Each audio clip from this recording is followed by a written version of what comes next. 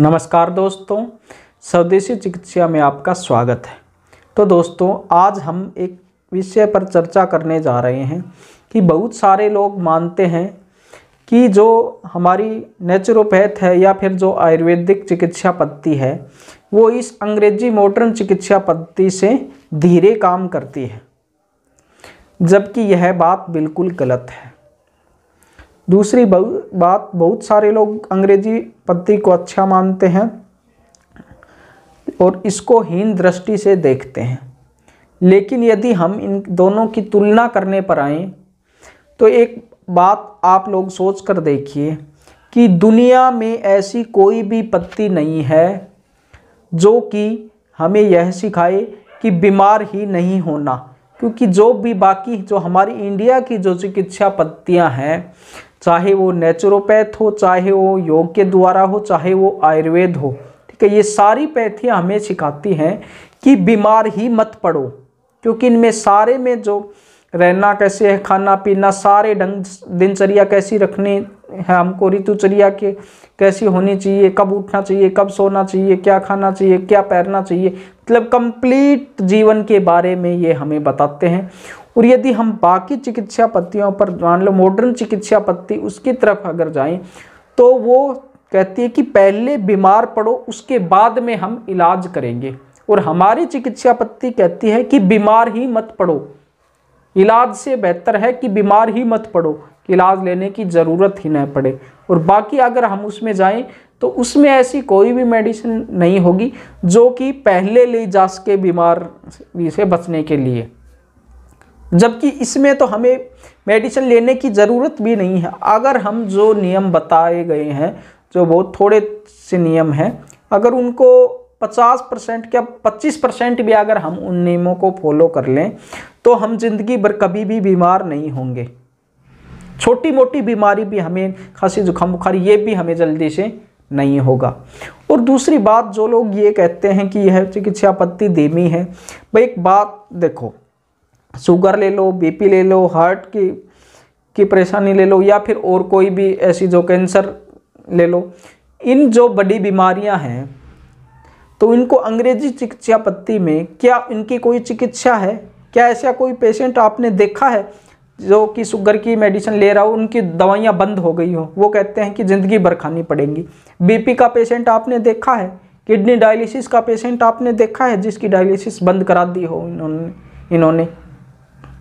दूसरी बात, यदि हम, हमारी चिकित्सा पत्ति नेचुरोपैथी आयुर्वेद पर चलें तो ये हो सकता है मान लो किसी चीज़ मान लो नेचुरोपैथी पर हम चलें तो बीपी शुगर की जो हम विश्वरूप जी की जो डाइट डीआईपी डाइट जो देते हैं, उसमें तो लगभग तीन दिन, सात दिन, महीने भर में मेडिसिन बंद हो जाती हैं। अब सोच के देखो, एक पूरी उम्र, की पूरी उम्र भर मेडिसिन आपको लेनी है, और उससे धीरे धीरे उसकी दवाइयाँ बढ़ती जाएँगी जाएँगी और व्यक्ति और दूसरी बीमारियाँ भी उनके साथ, उनके साइड इफ़ेक्ट से आई जाएँगी। और अगर इस पत्ती पर देखें तो आदमी की दवाएँ तीन तीन दिनों में बंद हो जाती है सप्ते में बंद हो जाती है, किसी की महीने में हो जाएँगी। ज़्यादा करो तो दो तीन महीने लगा लो अगर किसी को ज़्यादा ही परेशानी है। 95 99 परसेंट व्यक्तियों की तो दवाइयाँ आराम से छूट जाती हैं, चाहे कोई भी बीमारी क्यों ना हो, बीपी हो, शुगर हो, हार्ट की बीमारी हो या फिर कैंसर हो। बड़ी बड़ी बीमारियाँ मतलब खाने पीने के द्वारा, डाइट के द्वारा ही ठीक हो जाती हैं। और थोड़ी बहुत यदि आयुर्वेदिक तो दवाइयाँ ले लो, थोड़े बहुत नियम ले लो, थोड़ा बहुत एक्सरसाइज योग वगैरह कर लो, पूरी सभी बीमारी आसानी से ठीक हो सकती हैं। और दूसरी तरफ़ वो कहते हैं कि पूरी उम्र दवाइयाँ ही खाओ। किडनी डायलिसिस का अगर अब पेशेंट देखो जो हिम्स हॉस्पिटल डॉक्टर बी स्वरूप जी, अवधेश पांडे आचार्य मनीष जी, उन्होंने मिलकर जो खोली है, चंडीगढ़ में खोल चुकी है। अब एक जयपुर में भी खुल चुकी है और एक जोधपुर में भी अब अब खुल चुकी है।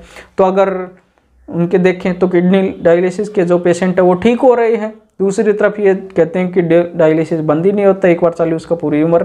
किसी को हफ़्ते में कराना पड़ता है, किसी को महीने में, किसी को रोज कराना पड़ता है, किसी को दो दिन में, किसी को तीन दिन में।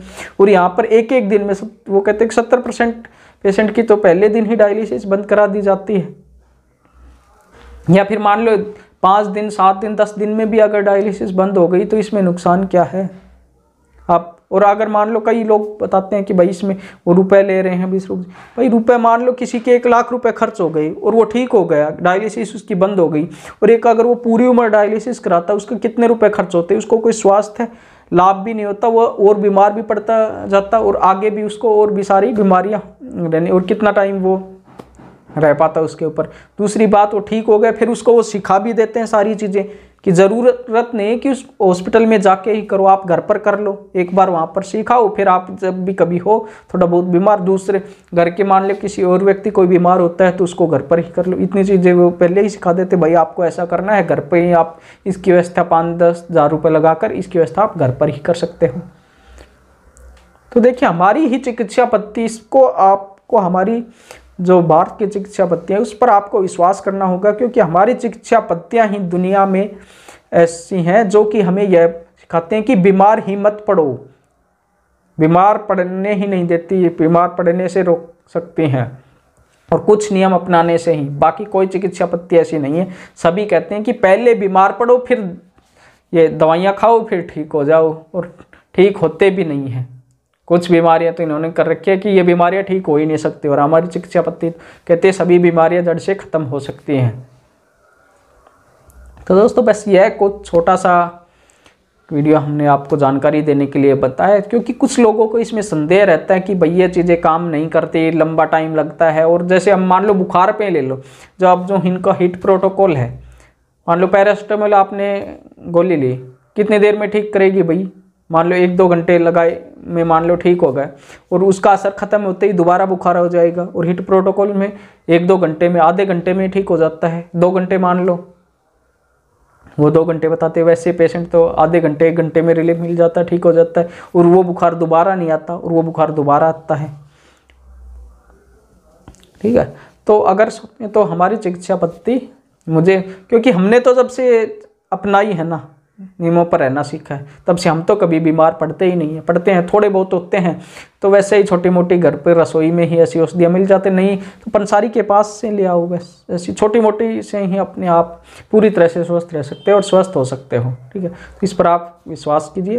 और इस बारे में आपका क्या राय है? आप इस बारे में क्या सोचते हैं? आप भी हमें कॉमेंट बॉक्स में बताइए और वीडियो को लाइक व शेयर अवश्य करें ताकि और लोगों को भी इन वीडियो का फ़ायदा मिल सके। तो दोस्तों, मिलते हैं अगले वीडियो में। तब तक बने रहेगा हमारे साथ। जय हिंद, वंदे मातरम।